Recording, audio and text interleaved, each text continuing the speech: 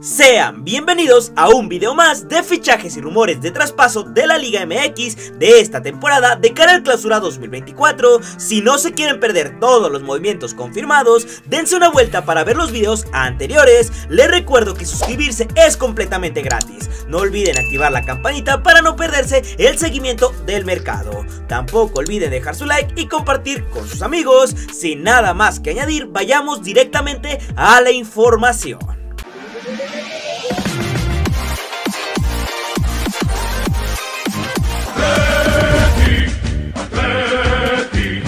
Atlético de San Luis busca superar lo conseguido en el Apertura 2023, donde llegaron hasta las semifinales y ya cerró a dos refuerzos procedentes de las Chivas Rayadas del Guadalajara para el siguiente torneo. Y es que con información de César Luis Merlo, el Atlético cerró el traspaso de José de Jesús Tepa González y Oscar Macías, quienes llegarán al conjunto potosino procedente del Tapatío, equipo que es filial del Guadalajara. En ambos casos, el San Luis se hizo de un porcentaje de sus cartas en un movimiento que fue compra definitiva y estarán firmando un contrato que llega hasta diciembre del 2025.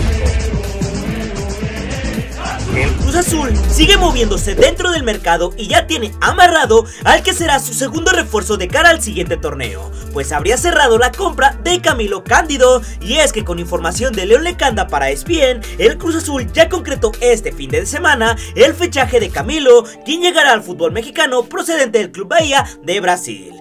Si bien el último equipo de lateral izquierdo de 28 años fue el Bahía, su carta le pertenece al Nacional de Uruguay, equipo con el cual Cándido tenía contrato hasta el 2025. El jugador uruguayo llega como refuerzo en compra definitiva y firma un contrato por los próximos tres años. Después de que se cumplan todos los trámites, Cándido se estará uniendo con Gonzalo Piovi como los dos primeros refuerzos de Cruz Azul. En las últimas horas ha salido información referente a que dos jugadores de las Chivas dejarían el redil para recalar en los Bravos de Juárez. Se trata de Ronaldo Cisneros y Lalo Torres, delantero y contención del rebaño respectivamente. Ambos buscarán otro equipo donde tengan mayor participación y cantidad de minutos, cosa que en el último torneo no tuvieron de la mano del ahora ex entrenador Beljo Paunovic. La escuadra de la frontera sería el destino idóneo para ambos, ya que el club de Juárez presenta un proyecto interesante con jóvenes mexicanos, Ronaldo de 26 años y Torres de 24 aún son considerados jóvenes que el cambio de aires les podría caer bien para reivindicar sus carreras. De momento solo se ha dicho que serán préstamos a un año y no se ha dicho nada sobre alguna opción u obligación de compra favorable al club fronterizo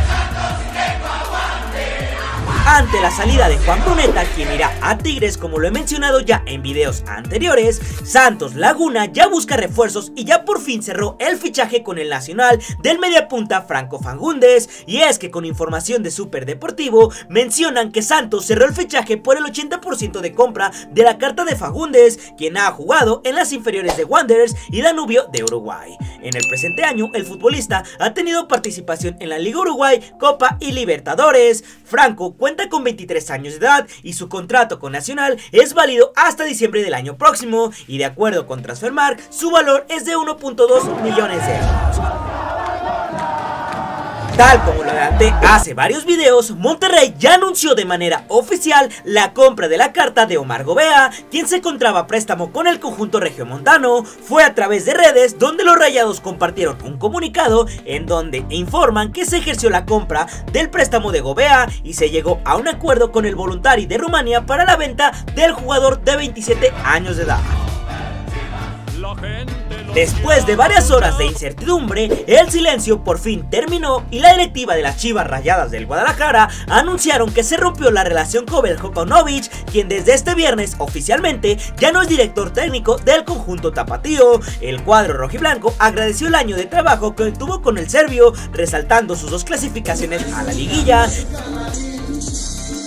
Yajaciel Marchan, canterano de los Tuzos del Pachuca, ya tiene nuevo equipo tras haber quedado como agente libre luego de finalizar su vínculo con el Pachuca. Y es que con información de Transfer Liga MX menciona que Marchand es nuevo jugador de los rojinegros del Atlas al firmar como agente libre, pero saldrá cedido un año al conjunto de los Leones Negros de la UDG. Desde esta parte del video comenzaré con los rumores. Ojo chicos, para que no se confundan, desde esta parte serán solo rumores. Los rojinegros del Atlas no se quieren quedar atrás en este mercado de fichajes y estarían interesados en el extremo derecho Edwin Cetre, quien ya tuvo un breve paso por el fútbol mexicano con los guerreros del Santos Laguna, club propiedad de Orlegui Sports. Entre 2017 y 2019, Cetre militó en las inferiores del Santos Laguna sin poder debutar en el primer equipo. En la pasada temporada con Independiente de Medellín, Cetre firmó 20 goles en 52 partidos. El extremo aún tiene contrato firmado hasta el 2026 y está tasado en poco más de 1.6 millones de euros según el sitio especializado Transfermarkt. Han sido horas muy movidas para las Chivas Rayadas del Guadalajara después de lo que fue la novedad sobre Beljo Paunovic, quien dejará su cargo como entrenador. Sin embargo, en las últimas horas también se supo que Chivas vuelve a la carga por un viejo anhelo, como lo había informado en el mercado anterior, y es que con información de Fernando Esquivel menciona que Fidel Ambriz vuelve a aparecer en carpeta del conjunto rojiblanco, que ya lo ha buscado en ocasiones anteriores, aunque sin éxito. El mediocampista de 20 años de edad es uno de los pilares de León y podría ser una gran inversión a futura. Fernando Esquivel soltó la información que tenía guardada sobre la fiera y el principal es la referida a Fidel Ambris y Chivas. Según la fuente, el rebaño ya envió una oferta formal a León, la cual consiste en una suma de dinero más un futbolista del que no se especificó este nombre. Mencionar que en las últimas horas también ronda la información de que León no estaría interesado en vender al jugador, pues piensan que siga manteniendo su buen nivel en la Liga MX para que se revalorice y lo puedan vender por mucho más dinero al mercado europeo. El uruguayo Jorge Baba es el principal candidato en León para llegar a sustituir en la dirección técnica a Nicolás Larcamón. Y es que con información de Soy Fiera, la dirigencia de León ha puesto los ojos en Baba, uruguayo de 42 años de edad y quien acaba de levantar su primer título de liga con el Liverpool de Uruguay. Llegaría a un equipo bastante golpeado por el fracaso que tuvieron en el Mundial de Clubes.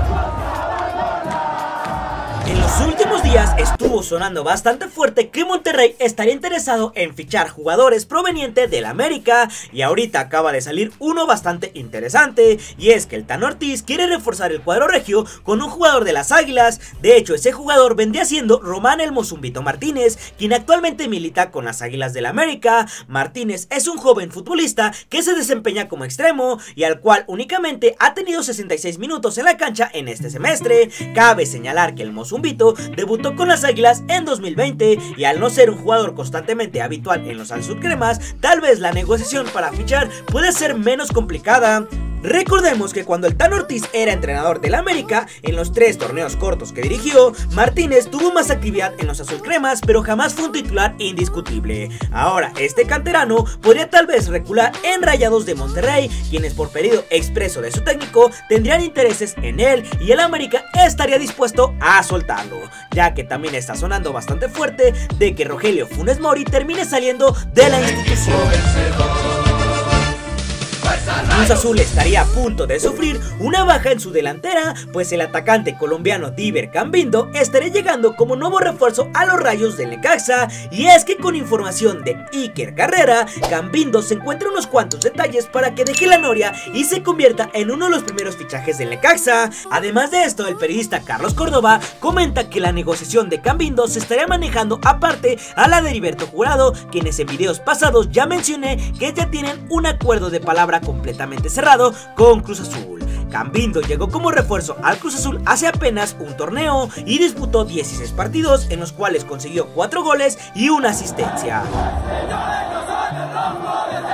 Como lo había informado anteriormente, Toluca, Gremio y los Pumas estarían interesados en hacerse de los servicios del atacante histórico de Monterrey, Rogelio Funes Mori. Y es que ahora traigo nueva información respecto al Toluca, quienes ya habrían presentado una oferta formal para hacerse del fichaje del delantero de los Rayados. Y es que de acuerdo con diversos reportes, la oferta del Toluca sería muy atractiva para el cuadro regiomontano, acercándose a los 3 millones de dólares en los que tendrían tasada la salida del mellizo. La oferta del Toluca rondaría los 2 millones de dólares y la directiva de Monterrey está analizando si acepta o no la propuesta, quienes ya no elevarían más su oferta ante una posible contrapropuesta de los propios regios. Por otro lado, el gremio está dispuesto a ofrecer 1.5 millones de dólares o esperar que Funes Mori termine su contrato con Rayados vía rescisión para ofrecerle un salario de 2 millones con bonos incluidos. Cabe recordar que el contrato de Funes Mori vence el verano del 2024 y de momento no hay indicios de que la directiva regiomontana quiere renovar su vínculo con el mexicano. En el Apertura 2023, Funes Mori marcó 7 goles en 17 partidos disputados, tomando en cuenta Liga MX y Liguilla.